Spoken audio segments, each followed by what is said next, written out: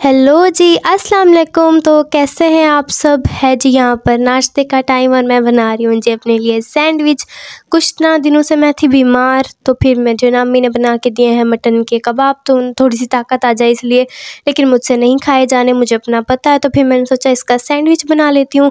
तो मैंने ले लिया है जी एक अंडा ब्रेड और केचप भी शुक्र थे घर पर तो उससे बन जाएगा मेरा अच्छा सा सैंडविच और फिर मैं यहाँ पर ना अंडा बना रही थी, उसके ऊपर मैंने डाली है कुटी हुई काली मिर्च। आप लोग ने कभी ट्राई किया है? पिसी हुई से अगर आप कुटी हुई काली मिर्च ट्राई करोगे ना तो उसका टेस्ट बहुत ज़्यादा अच्छा आता है और थोड़ा सा ना चेंज आता है तो फिर चेंज वाली चीज़ तो हमें अच्छी लगती है।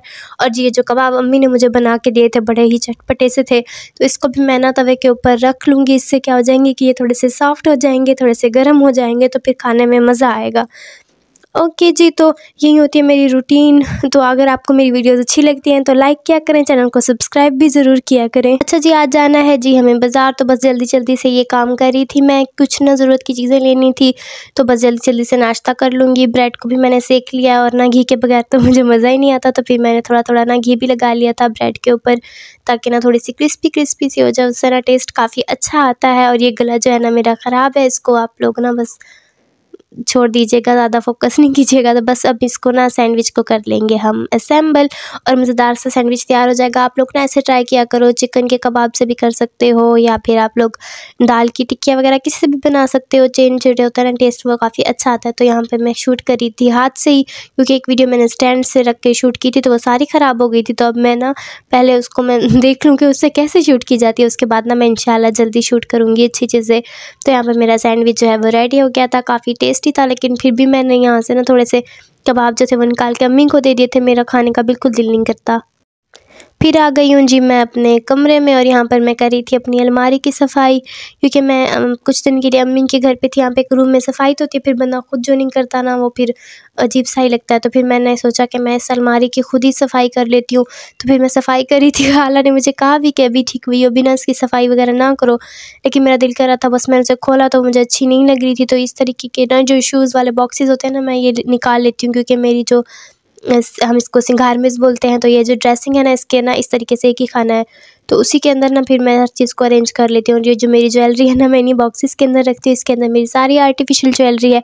अगर आपको ना मेरी ज्वेलरी की कलेक्शन चेक करनी है तो मैंने एक वीडियो बनाई थी। आप लोग देख लेना, काफ़ी प्यारी प्यारी सी मेरी ज्वेलरी है। और उसे मैं किस तरीके से रखती हूँ, वो भी आपको ना उसी वीडियो के अंदर मिल जाएगा। तो बस अब मैं यहाँ पर सारी चीज़ों को अरेंज करी थी। जल्दी जल्दी काम कर रहे थे, फिर हमें जाना है बाज़ार। और जी देखो, हमने इतने सारे कपड़े देखे थे।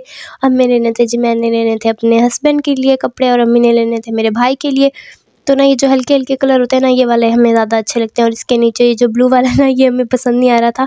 हमने काफ़ी सारे कपड़े देखे थे, मोटे में स्टफ़ में भी देखे थे, पतले वाले में भी देखे थे, फिर हमने कुछ पसंद किए थे। उसके बाद हम गए थे ज्वेलरी शॉप पर हमें जाना नहीं था, लेकिन बस प्यारी सी ज्वेलरी नज़र आ रही हो तो फिर बंदा चला जाता है इतने प्यारे प्यारे से स्टड्स थे बहुत ही ज़्यादा ये मुझे प्यारे लग रहे थे और सबसे प्यारी लगी मुझे ये झूमर।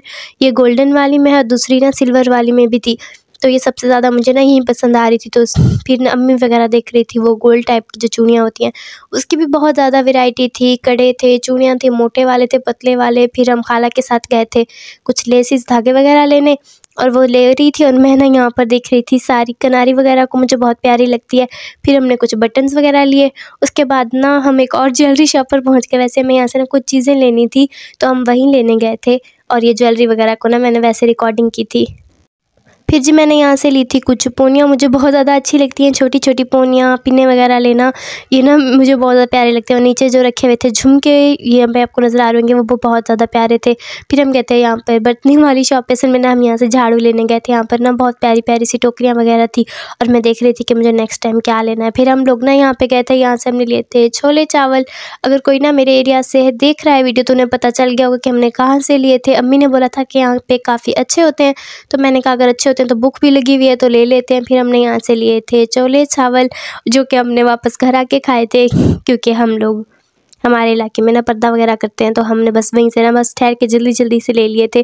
फिर जी हम आ गए थे खाला के घर खाला के घर में ही हमने चावल चावल खाए थे, क्योंकि हम खाला के साथ गए थे, और ये चावल काफ़ी मज़ेदार थे। चिकन पुलाव था, और साथ में जिसका सैलेड था, वो काफ़ी बारीक बारीक सा बना हुआ था, और चटनी तो बहुत ही ज़्यादा कमाल थी, बहुत ज़्यादा मज़ा आया था। अब जी दिखाती हूँ मैं आपको अपनी मज़ेदार सी शॉपिंग तो देखो, मैं इतनी सारी चीज़ें लेकर आई थी और इनमें से ज़्यादातर चीज़ें जो थी ना, वो मेरी, जो मुझे लेनी थी, वही मैं लेने गई थी और कुछ मैं ऐसे लेकर आई थी। सबसे इंपॉर्टेंट है जी ये लूफ़ा।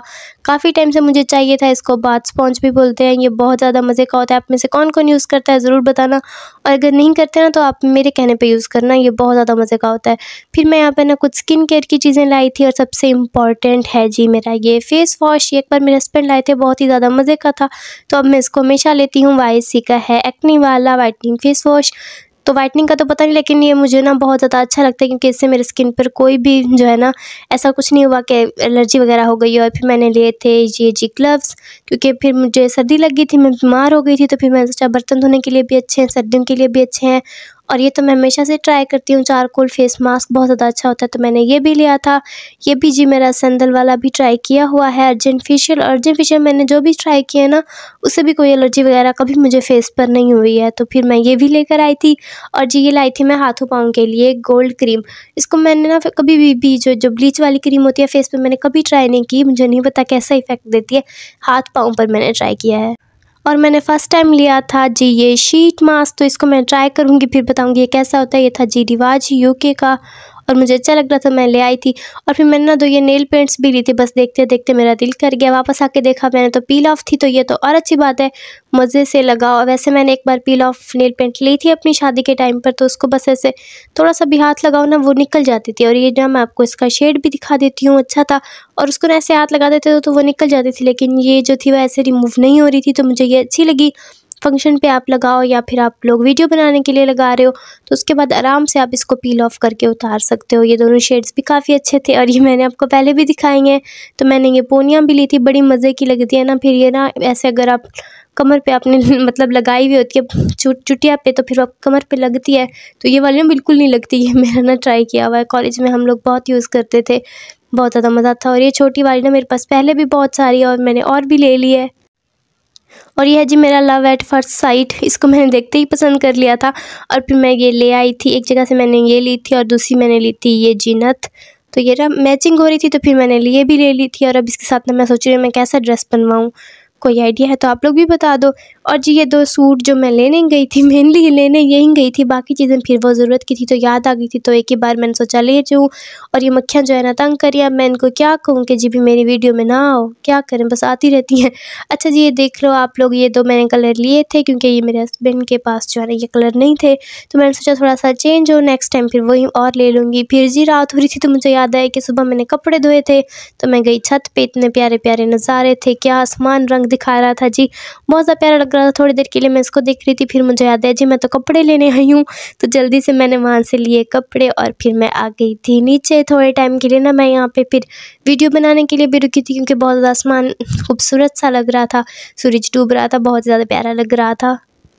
और जी, एक और बात आप लोगों से शेयर करनी थी कि मेरे जो रूम का जो बल्ब वगैरह थे ना, वो बहुत ही ज़्यादा हल्के वाले थे। उससे रोशनी नहीं हो रही थी तो मैंने अब चेंज करवा लिया है तो अब मैं आपको रूम टूर भी इंशाल्लाह जल्दी दूँगी और इससे ना मैं बहुत ज़्यादा खुश हूँ। और फिर मैंने ना रात को ये गर्म कर लिए थे नान, मुझे नान बहुत अच्छे लगते हैं और हमारे इलाके में इतने अच्छे वैरायटी वाले मिलते भी नहीं तो भाई जो मिलता है वहीं खा लो। और ये नान रखे हुए थे तो फिर मैंने इसको थोड़ा सा घी लगाया, गर्म किया और घर में बनी हुई थी जी मटर और दाल की सालन।